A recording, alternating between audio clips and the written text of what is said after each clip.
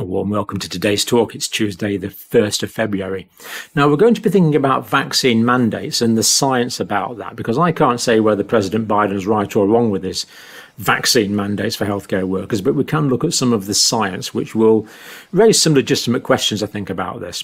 Just before we go on, we notice that the cases in the UK have gone up today by 800,000 because we are now counting people that are reinfected. In other words, someone can be on the register twice because they've been infected twice. So that's the reason for the big change in cases today in the United Kingdom. It's not actually that there's been 800,000 cases today. Now, vaccine mandates is really quite an important thing to look at. Now, Sajid Javid, it looks like he's going to scrap these on Monday, which is interesting and I think probably a good idea. Omicron variant's dominant, um, it's milder, and uh, I think he's paid cognizance to the data we're about to present as well because it had been that people would have to get the first vaccine to be to be fully vaccinated for April. They'd have had to get the first vaccine by uh, this week, and that's now looking not necessary. Of course, care home staff it's been mandated for them since uh, November, and it looks like forty thousand people who lost their jobs because they weren't fully vaccinated can now go back to work, and that's going to make a big difference in the care sector. A very welcome boost in staffing for the care sector, we would hope. And this is consistent with the Prime Minister's idea that the UK has to learn to live with COVID, which of course is true.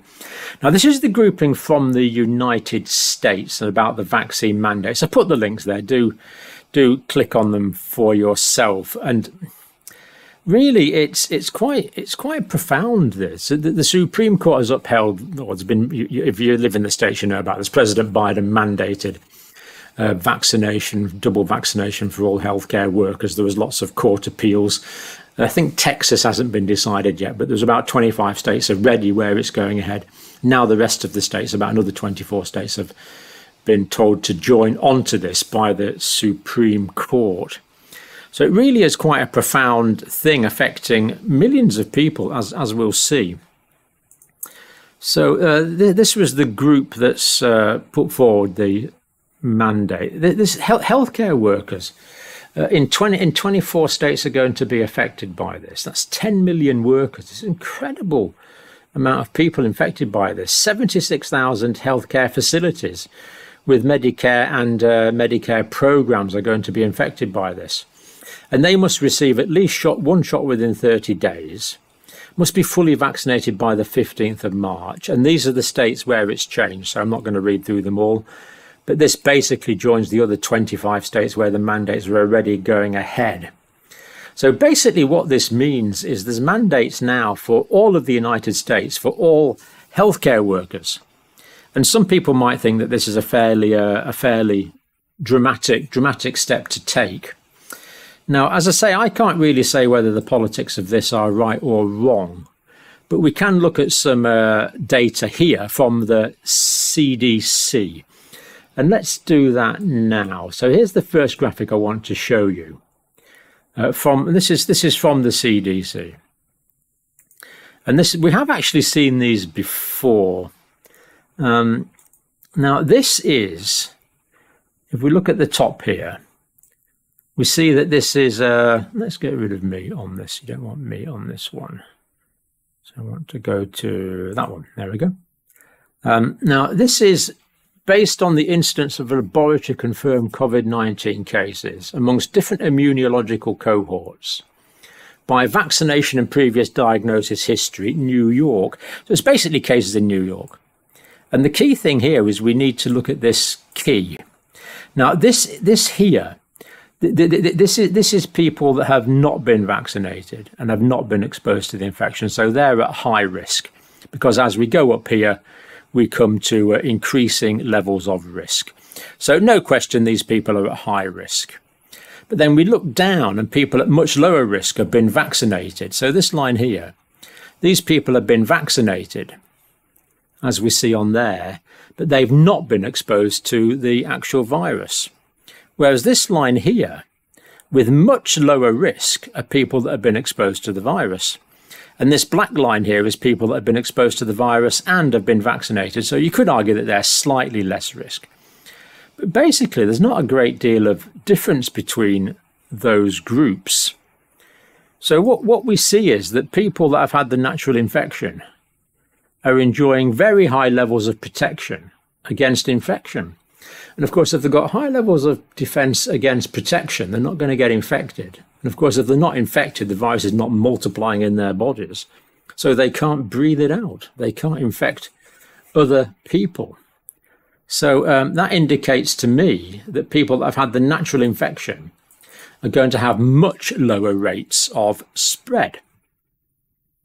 Now let's look at this next one here. This one is, um, Hmm, I think this one, is this one California? Yeah, this one's from California. So there's much the same data there from, from California. This is the CDC's own data. So again, we see people that have not been vaccinated and people that have not had the infection. I mean, can there be any doubt from that data that they are at severe risk of infection, therefore severe risk of passing this on to other people? Clearly, that is the case. Clearly, that is the case. But when we look at people that have been vaccinated, we see that their risk is low, way lower, of course in the California data. But then when we look at people that have had the natural infection, which is that blue dotted line there, we see that they have way lower risk. And people that have had the extra vaccine dose, you could argue that they've got minusculely uh, less risk. But, but basically, those lines are essentially superimposed. So that is quite um, interesting again that we've got consistency between the data from uh, California and New York. Now, the third graphic here I want to show you is this one. And this one is the risk of hospitalizations. Now, that is here. So, um, this is um, associated hospitalizations here amongst immunological cohorts, again defined by vaccine status, California. And this is from May, uh, May the 30th to November the 13th, 2021. Now, of course, this is in the time of Delta. So again, what we see is people likely to be, and of course, this, this goes up and down as the pandemic goes up and down, as the numbers go up and down. That's not surprising. So we see people with no vaccine at all and no immunity at all, very high risk of hospitalization. But then we go down and we see people here uh, with the thick blue dotted line that have had two doses of vaccine, much lower risk of hospitalization, of course. But we see people that have had the natural infection on the dotted blue line there, but have not been vaccinated at all, even lower risk than the people that have had vaccines. Then the people that have had uh, no infection and immunity and vaccination, again, I think we'd have to say that line is, is basically superimposed most of the time there. So I see this as, as really quite, uh, quite significant data because what this means is we're not really treating everyone the same. So let me just tell you a bit about the background here. When I went into uh, healthcare uh, when I was 18, we had something called uh, task orientation. So, so what we did was we'd do the uh, we'd do the background and rub everyone's bottom then then we'd do the pillow round and sort everyone's pillows out. Then we'd do the cup of tea round and give everyone the cup of tea. Then we'd do the dressings round, do everyone's dressings, and then we then we'd do the medicines, do everyone's dressings all at the same time. Great because you knew when everything was done for the whole ward. But then it changed to individualised care, and in individualised care you assess, plan, implement, evaluate. So you assess the individual. You, having assessed the individual, you plan their care individually then you implement the care, then you assess it. So what's happening here with these vaccine mandates is, is they're saying all healthcare workers should be vaccinated. But the data we've shown, to me, is showing that people that have already had the infection, the vaccination makes basically no difference to their risk of getting the infection or, or to their risk of being hospitalized. Now, to be fair, this was uh, in the time of Delta. So this may not apply to Omicron, but I'd be very surprised if it didn't because Omicron's milder anyway. So if you protect if, if the if the immunity protects against uh, Delta, I strongly suspect it's going to protect against severe symptomatic Omicron. Although we know that people get milder symptomatic Omicron, but less likely to be hospitalised. So in the age of Omicron, I would argue that this applies uh, even more. So we should be individualizing care to me from, from, that data. So what this means is the individual should be treated as an individual, not as 10 million or 20 million healthcare workers or whatever it is. So if we say, well, to an individual healthcare worker, well, you've had a positive PCR test. We know you've had the infection. Therefore, you don't need to be vaccinated. We, we could say that. Or we could say, well, we're not sure whether you had the infection or not, but we'll do an antibody test. And if you're antibody positive to, to, to, to the membrane protein and the envelope, pro, envelope protein, we'll know you've had the infection. And therefore, you don't need to be vaccinated. So we're vaccinating people who actually don't need vaccinated because, of course, healthcare workers have had ex more exposure to the infection than anyone else. So it does seem a bit uh, a bit strange that this one size fits all when the whole philosophy of healthcare at the moment is individualized care, but we're not doing individualized care for the individualized healthcare worker. So it seems to go against the whole philosophical predisposition of healthcare that I've been practicing now for, uh, for, for, for the last 30 years. Okay, now um, I'm going to just play you one more thing about deaths. This is from Spencer, who's done a really good report on deaths. Now, you might remember that there's been all sorts of uh, talk going on about deaths. And, and, and I did say on my video that I thought the most accurate uh, indicator of how many people we've lost from this pandemic is the excess deaths over the uh, the five year average. And uh, I'm, I'm putting Spencer on not because he agrees with me, but because it's a really good report. So, Spencer, thank you very much, and uh, over to you.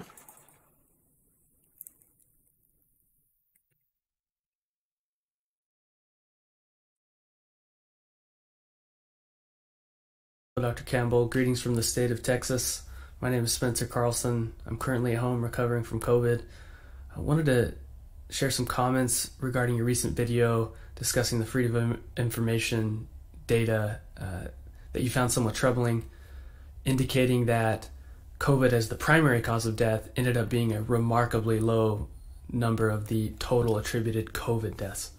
Uh, we had a similar debate here in the States uh, back in September 2020 when the CDC indicated that COVID being the only cause of death attributed was attributed to 6% of the total COVID deaths reported. So a very small number of the COVID deaths had COVID as the only cause. Um, this caused a significant amount of debate here as well on what the true way to understand deaths uh, was. And I think you were spot on when you referenced the um, excess deaths being the, the best way to approach the, the death toll of COVID. What I would want to propose consider secondary causes of death where people go on to live very long and fruitful lives, such as uh, diabetes, hypertension, um, obesity, and a, a number of other factors. And I think this is a lot easier to see if we dig in a little deeper to the excess death data. Looking at the CDC death data going all the way back to 1999, we can see fairly consistent growth in the deaths in the United States. It averages a 1% growth per year, per year and correlates most closely with population growth. Uh, but then we see something remarkable in 2020. Uh, when we go from 2019 to 2020, we have a 18.5% increase to 3 point, almost 3.4 million deaths. Um, if we look at the deaths we would have expected with that 1% growth rate, we would have expected 2 point, almost 2.9 million deaths. So we have 500,000 unexplained deaths. Well, when we look at the different attributed causes of death, the top 15 causes of death in the States, as reported in the CDC data, we see that those top 15 causes do account for 80% about uh, of the total deaths uh, that we're discussing. We see that heart disease is always number one, cancer is always number two, and we see that COVID in 2020 was credited with 351,000 of the, that 500,000 of unexplained deaths. Um, but what I've done is highlighted in red the year in which we saw the highest percentage increase in a particular cause of death. So heart disease had its highest percentage increase in death in 2020. Same with cancer and a number of other factors. And we could say, well, maybe there were folks that didn't receive appropriate medical care because hospitals were so busy. Uh, but I also think it's important to consider that we may have significantly undercounted the COVID associated deaths. uh, when we see this much of an increase in all of these different factors. Uh, something that has a, for example, a very, very constant or, or low volatility growth rate like hypertension, uh, that it had a significant increase in the percentage, um, per- significant percentage increase in deaths. That to me indicates the most likely scenarios we're missing some COVID interactions and almost certainly have undercounted the true COVID uh, death toll.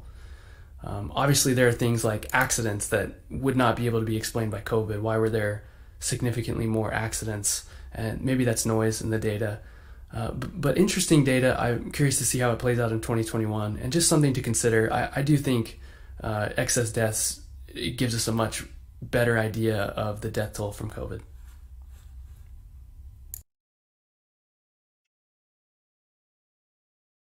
Okay, thank you very much for that, Spencer. I think we can possibly turn you off now. I'm not sure. I'm not quite sure if I have the technology. There we go. Sorry, these technological problems. So Spencer's pointing out there in 2020, heart disease, sepsis, cancer, stroke, Alzheimer's disease, liver disease, diabetes mellitus all up, partly because people aren't seeking care or getting the care they needed, and partly because COVID is exacerbating these conditions. Therefore, the actual death toll of the pandemic could be higher than we had thought, which is a, a sobering figure in that respect. So thank you for that, and uh, thank you for watching this video.